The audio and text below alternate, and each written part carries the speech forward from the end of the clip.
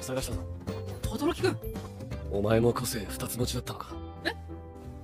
体育祭の時。全力でかかってこい！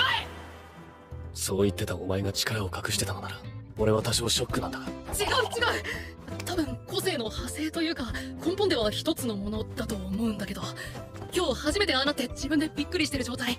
そうか。それは大変だったな。疑って悪かった。